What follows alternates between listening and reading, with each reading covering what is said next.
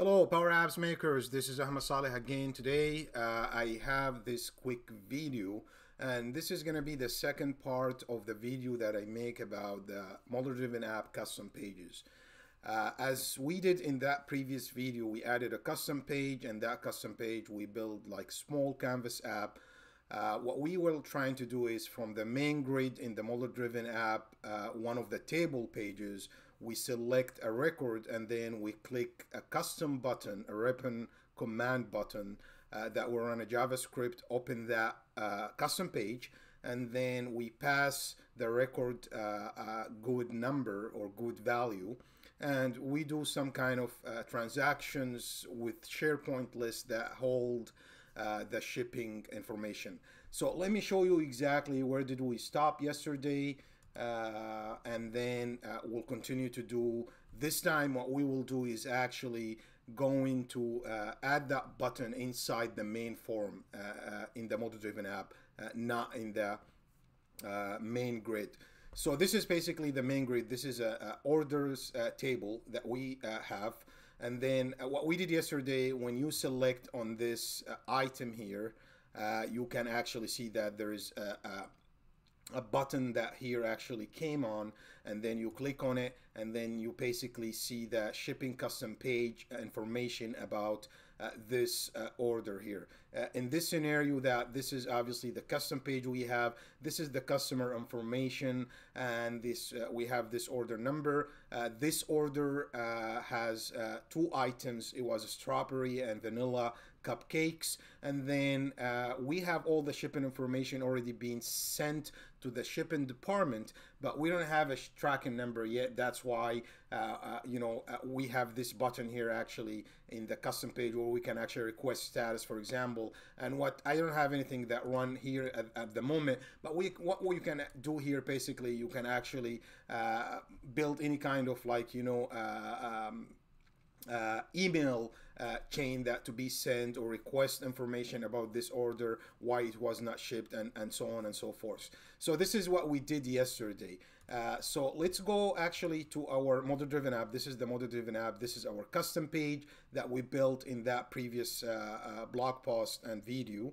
Uh, so you can find all the information. I will also put the link for this previous um, post that I'm referring to in the description of this video. So check it out.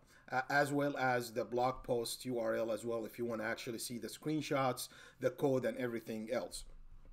Uh, so uh, what we will do today, basically, what I'm trying to do is if I go ahead and select one of these records, and this is obviously the uh, the form of that record. So this is the form, uh, one of the form, it's, it's the main form I have for the table orders in the Dataverse. And uh, I want to actually also show this button here. So I created this actually today. And I'm going to show you how we create this in the main uh, form. Again, everything will be almost the same, identical to the way that you do this when you add the button into the main menu, into the main grid. It's going to be the same thing. The only difference is going to be the value that we pass when we click that button from the main form. It's actually the same GUID of the record, but it will be between a curly bracket. And here actually the trick, you know, how to get rid of these curly brackets so you can use that GUID for you, uh, you know, all other uh, integration that you want to do on that custom page. So what I did, I went, uh, you know, to the again to the page orders, uh, which is the table, and then edit command bar. Uh, uh, the same thing here, obviously you will have two options. So you have the main grid option and you have the main form.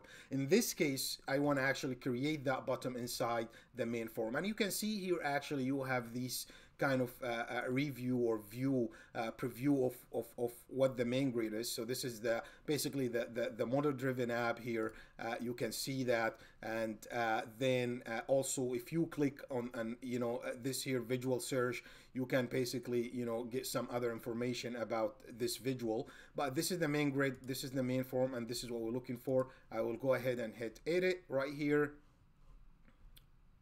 Close this and then as you can see I, I, the same thing I did yesterday new command and you create the new button. This new button actually has the same thing for everything except for the icon. I changed the icon just to make it different. So it's another web resource.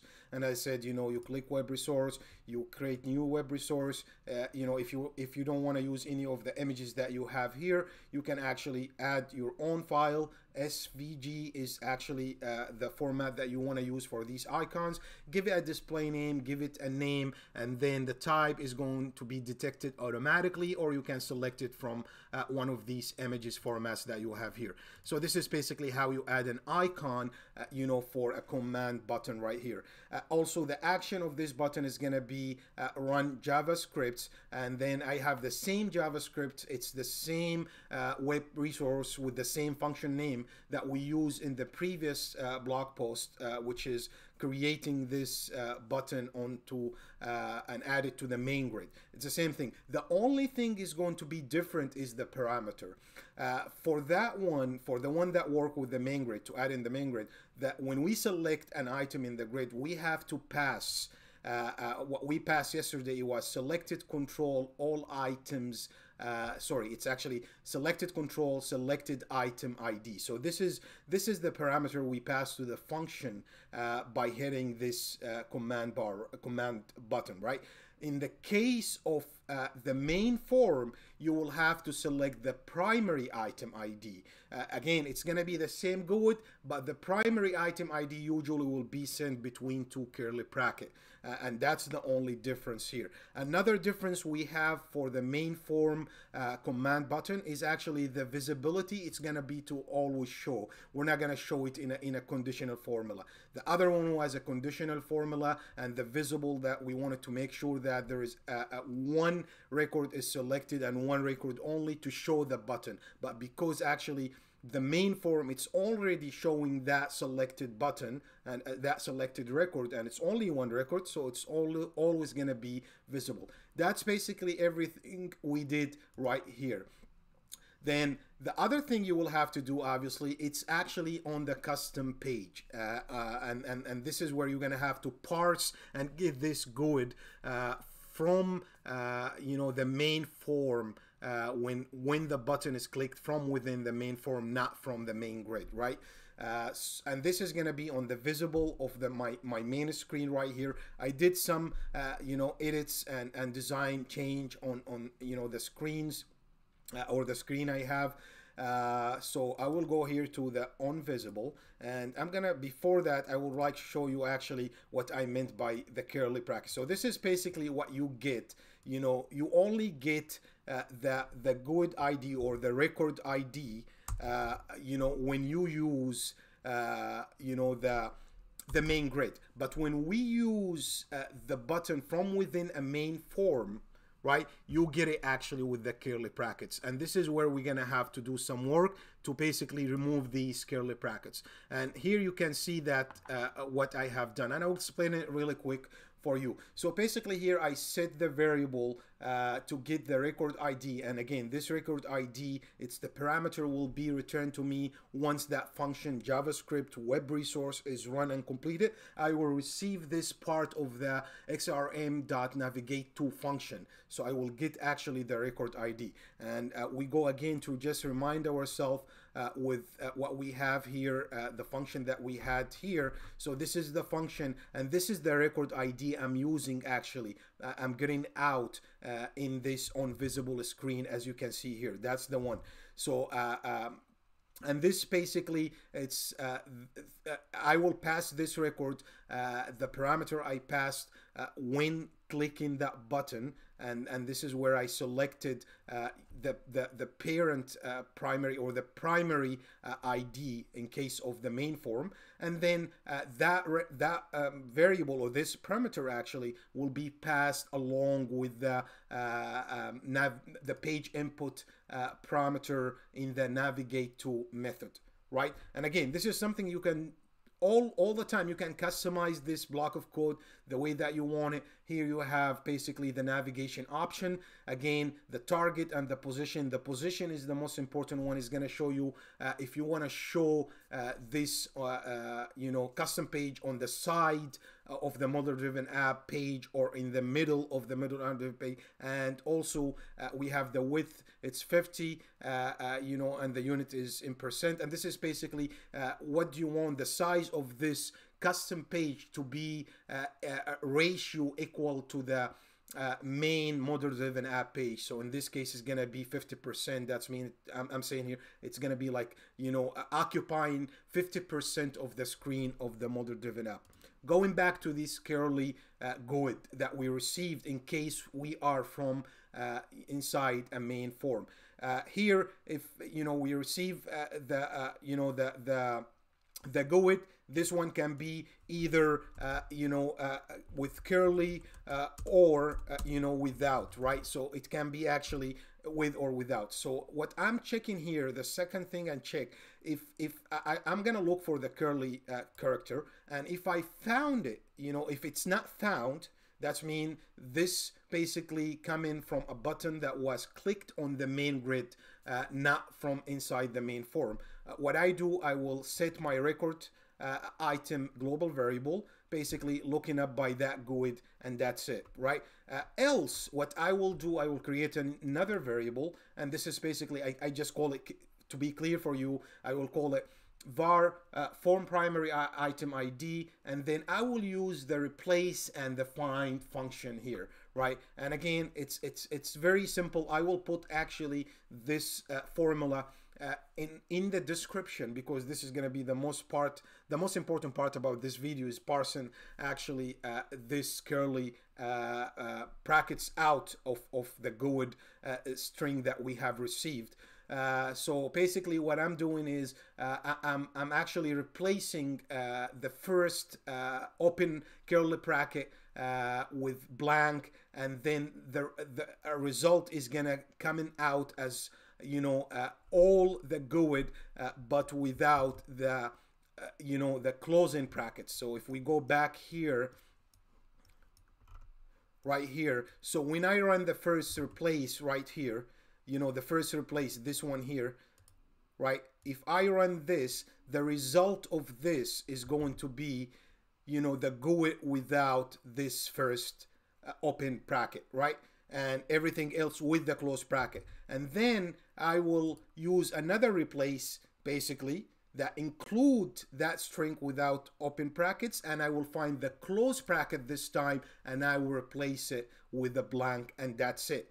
That's will be the GUID without the brackets and then I will also set the this in this case the record item is going to be basically equal the new GUID value without these curly brackets. And everything else is going to be the same uh, uh, and uh, now we can actually go ahead and and, and do a full scenario. So uh, I will go ahead and uh, go to this Diego order again. Uh, they have multiple, or he has multiple item flavors. So he has mango, banana, chocolate in his order. This is the order number. As you can see here, I have my custom command button. I will click on it. It will show me the information, and uh, uh, obviously, it's already been, uh, you know, uh, requested for shipping, and we don't have a shipping tracking number yet. But let's actually select one other that we haven't requested uh, shipping or process this order for shipping department yet. So what I will do, I will go here. I have this order, chocolate and banana, and I will actually click shipping. So what I did here, as you can see, I have the order information, uh, but I want to actually process the order. So I don't have anything else to do here except process the order. So when I hit here and, and click process the order, what is going to happen is this order information will be sent into the team uh, or the shipping team basically. And this data is going to be saved on my SharePoint. So I will click here and immediately all the information, the needed information, the customer name, order number, and the address is all being sent to the SharePoint here. So if I actually go ahead and refresh here, you can see it was just actually added this one here right here. And, and again, we can have another system, maybe another model-driven app, maybe another custom page, uh, maybe a completely third-party app that work with this SharePoint site and this list that handle the shipping for us, right? And basically what they have to do maybe a way or another manually or or automatically or whatever integration they have they will come here and have to basically just enter like a tracking number right and then a carrier right here uh, just uh, you know a, as a random. So I will just put you know random tracking numbers right here. And uh, I will basically uh, consider that all these items or all these orders has been shipped right? That's it done.